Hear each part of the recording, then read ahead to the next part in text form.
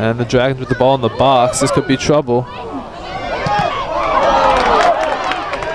Great block by Cradle. And it's Christopher trying to take the ball into the box, and she shoots. Ooh, and wide left there.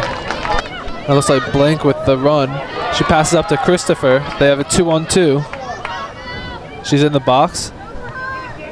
And Blank with the goal. Nia Christopher with the assist. Jenna Blank with the goal to open up the scoring race. Christopher with the ball in the box. Oh, and there's no one there. And the cross into the box. And a close there. It's actually a really good opportunity for Kuzi. Hamid with it, takes it in. Pass to Christopher. And a goal! Christopher with a goal! Wow. With 19.26 left, the Tigers take the lead again, up 2-1.